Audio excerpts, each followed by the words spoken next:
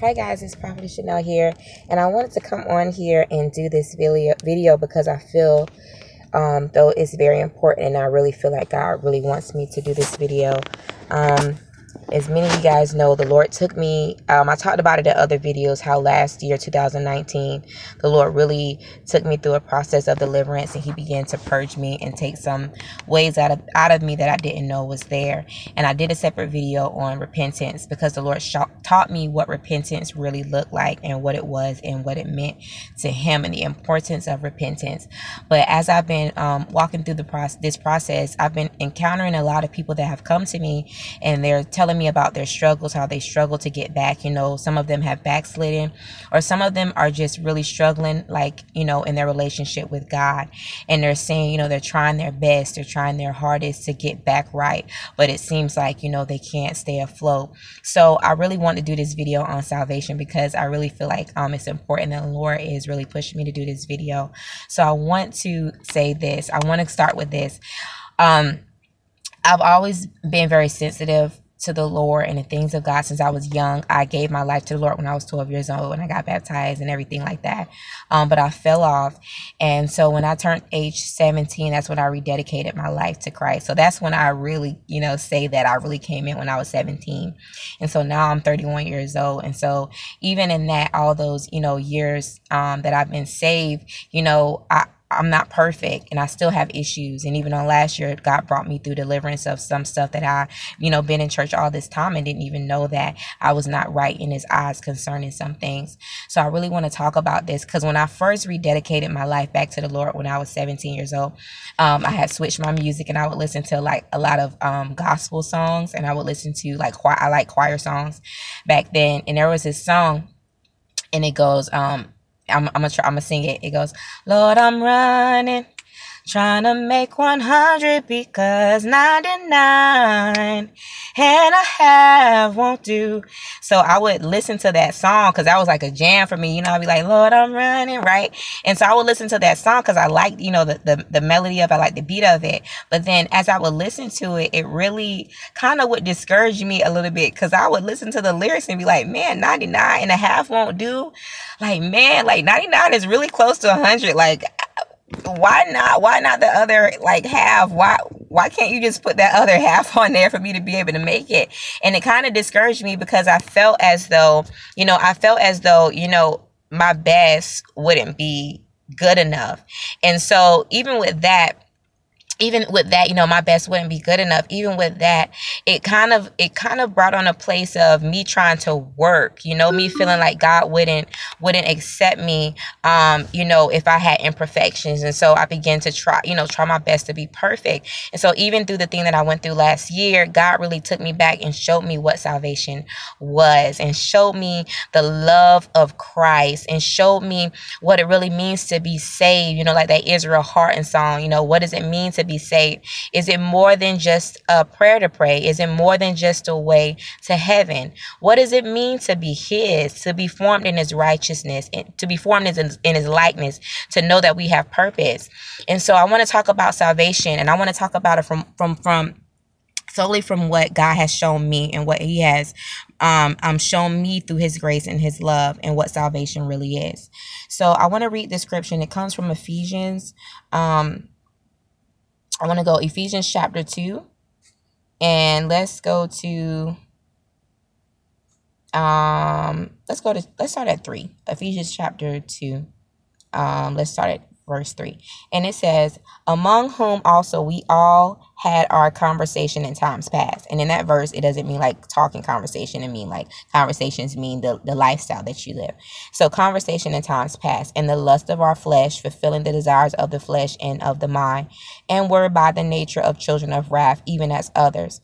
But God, who is rich in mercy for his great love, wherewith he loved us, even when we were dead in sin, hath quickened us together with Christ. By grace we are saved and have raised us up together and made us to sit together in heavenly places in Christ Jesus, that in the ages to come he might show the exceedingly riches of his grace and his kindness towards us through Christ Jesus. For by grace are ye saved through faith, and, and that not of yourself. It is a gift of God, not of works, lest any man should boast. For we are his workmanship, created in Christ Jesus unto good works, which God has set before ordained that we should walk in them you can live your you can live your whole life right there off of off of those um few verses that I read from Ephesians chapter 2 3 to 10 I need you I need those of you who are struggling in your walk with God and those of you have backslidden I need you to just take a breath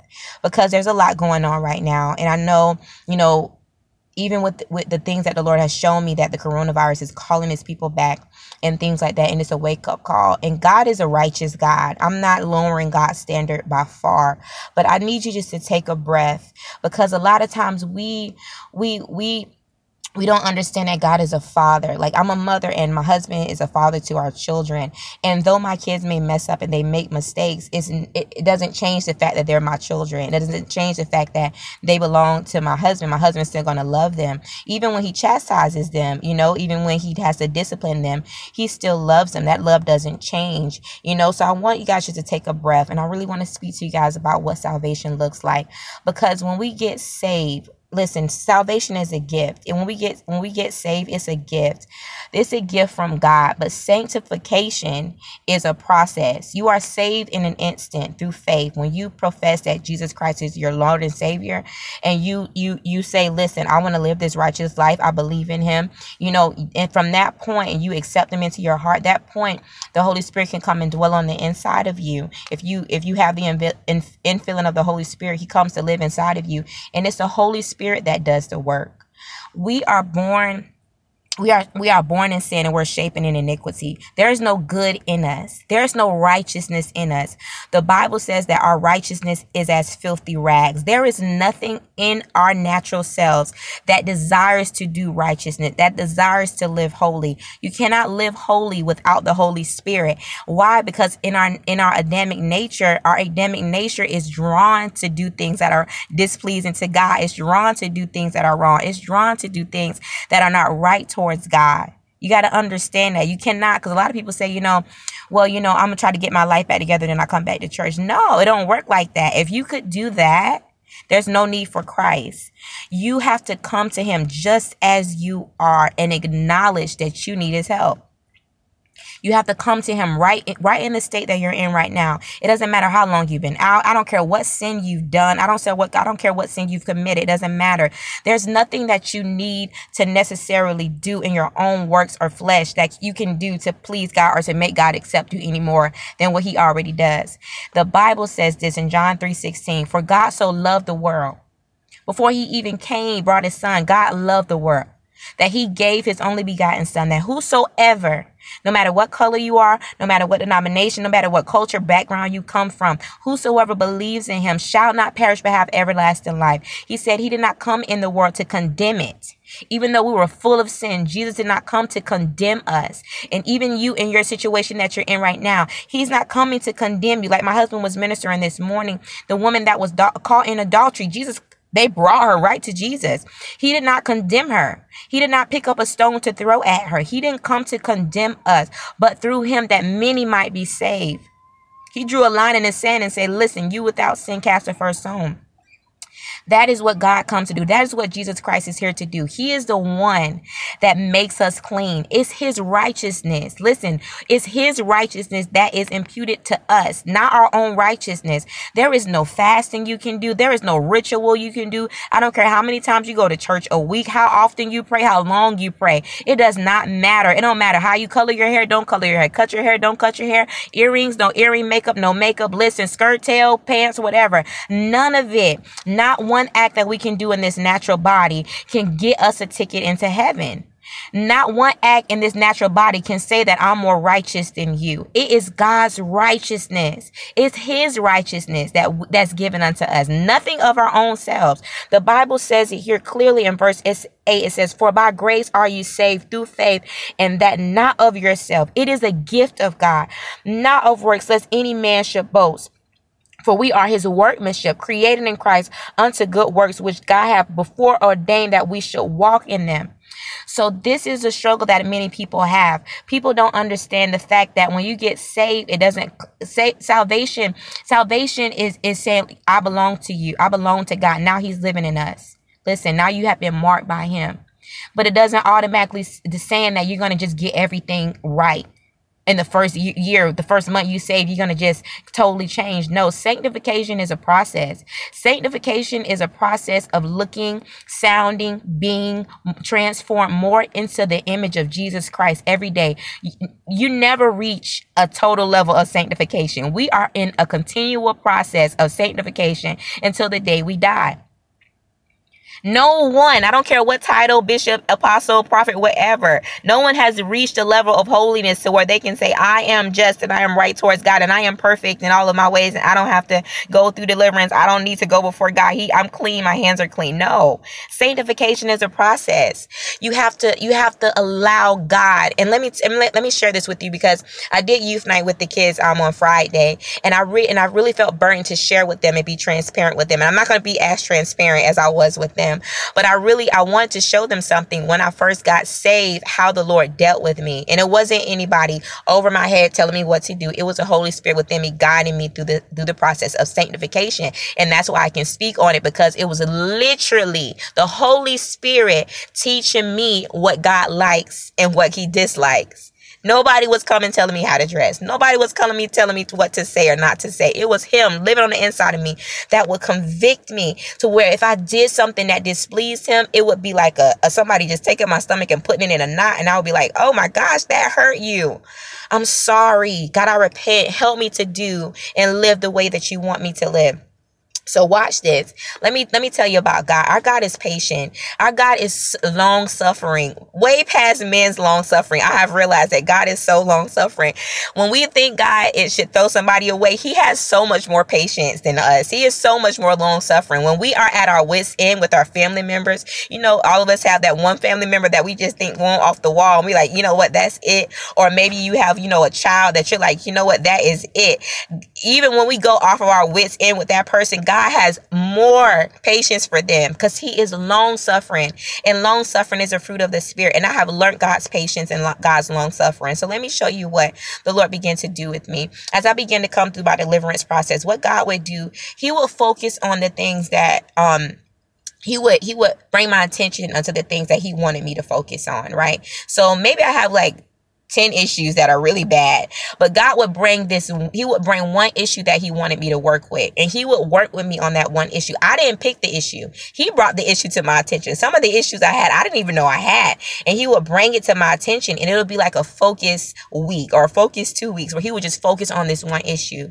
Like, daughter, your attitude, your attitude. I need you to work on your attitude. Daughter, your patience. Right now, we're working with patience. Daughter, discipline. L- listen, that heart that heart you think is good, it's not. I want you to show you, I want to show you this right here. Idolatry is there, daughter. I want to I want you to see that the idolatry is there. And he will work those things out with me. It wasn't I didn't have a, a calendar of, of, you know, I want to be delivered from this by this time, or I want to be um free from this at this time. And so I was telling the children, you know, I know some of you are struggling. I'm going to be brutally honest. I, I told the children, I said, I know some of you are struggling. Some of you are struggling with addictions or pornographies, and you know, you're having sex out of marriage and you're you have cheating. There's a lot of things that you know, you know, you can acknowledge that they're not right because the word says it. I said, but why don't you just go and trust God? Why don't you just bring those issues before God? Because you can't do it on your own. It's God that does the deliverance. Deliverance is the children's bread. Why don't you just allow God to, to tell to tell you what he wants to work with you on? Maybe it's your cheating, you know? Maybe you you you know you got you got a lying tongue. And that's what God wants to work with you. And He will work with you. He will work with you until you feel as if, you know, you have overcome and He delivers you from that thing. And then He'll come and say, okay, we, we got that together. You know my heart towards this. You you understand why I don't like this. You acknowledge it. And now you see in the areas in your life that don't align with my word. Okay, daughter. Okay, son. Let's work on something different. And he will continue that process with you until the day that you die constantly conforming you and transforming you into his perfect image. It's him that does it. Listen, we need to take a breath. You'll never be perfect. You'll never be righteous. There is not a level of perfection that you need to meet before God accepts you. He accepts you just the way you are. Listen, Peter walked with him for three years, saw sign wonders and miracles, and still had a cussing tongue. He still had a mouth, and he lied. Thomas was a he didn't have faith, he doubted. These people who walked with God, they all had issues. Not one of them was perfect. David, listen, David was a man after God's own heart, but David did some things that were wrong before God. Not one person, not one person that God chose to use in the Bible was perfect, uh, except for um, Enoch walked with God and he was not. Okay, that's like you know, none of them were perfect. Like, listen, Elijah, all of them, even Elisha, all of them had issues. All of them. But God, God, God understood even in their humanity, He could use them, and it was Him that worked through those issues with them. It's God that does it, people. Salvation is a gift and it's a beautiful gift and it's a beautiful journey that you walk through God with. So it doesn't matter what you're in right now. You may be addicted to drugs. You may be addicted. I'm, I'm hearing alcoholism. You struggle and you, and you, you struggle with um, addiction to alcohol and you've been trying to come off of it. Let me just encourage you. There is no addiction, no, no alcohol that nothing Nothing is greater than the, the ability of God to deliver. Not one thing. I've seen God do miraculous things in people. Listen, God is a deliverer. He is able to set you free. He is able to deliver you. Just come as you are. Come. Let him work through. Let him. He will do it. He will give you strategy. He will give you insight. He will give it to you. That's the kind of God I serve. I know God. I, I listen, I have I, I commune with him. When I mean commune, I speak with God not just at one time in the day, throughout the whole day. You have to come in that relationship to know that God wants to be this close to you. He wants to be that one when you're struggling. Listen, Lord, I'm struggling. I got this addiction. Lord, you know, I want to get rid. Uh, you know, I want to come out of this relationship, but I don't know how to do it. Give it to him. He'll show you how to do it. And you're gonna fall. Don't let nobody tell you that you're not gonna fall. You're gonna fall and you're gonna mess up and you're gonna make mistakes. But guess what? You get right back up again. The Bible says a just man falls seven times. We all fall. We all come short of, we all fall, we, we all fall short of God's glory every day. We all do it. Some sins maybe sins that you can see more than others. But trust me, all of us struggle with things. We all fall short of his of the glory of God. All of us do. And that's why we need him. That's why we need a savior. That's why we need repentance. That's why we need the blood to cry out mercy for us. That's why. Not because we've reached a, a place of perfection, not because we uh, crossed every T and dotted every I. So listen, people, I want you to come. Come back to him. I know all the churches are closed, and this is a perfect time because guess what? God can meet you right in your living room where you are. God can meet you right in the car where you're watching this, where you're watching this this video at. God can meet you right on the bed. I see a blue comforter. Um, God can meet you right on the bed where you're sitting, looking at this, um, looking at this video with a blue comforter on your bed. God can meet you right where you're at, right there, and He can come and speak to you. He can come and speak to you. You can pray to him and he'll answer you. You don't have to wait. You don't have to go through nobody else to confess no sins or anything like that. You don't have to wait on your pastor to come lay hands on you. He will meet you right there. God set this thing up because he wants his people to come directly to him. He wants it. He will speak to you. He's ready and waiting. Just come as you are. And as you come, and the more you come, and the more you be persistent, you're going to fall down, you're going to mess up, get back up again and you ask him, Lord, wash me, give me a new mind, give me a new heart, give me new desires. Take the take the taste of this thing out of my mouth so I don't desire it anymore. Keep coming. Keep reading your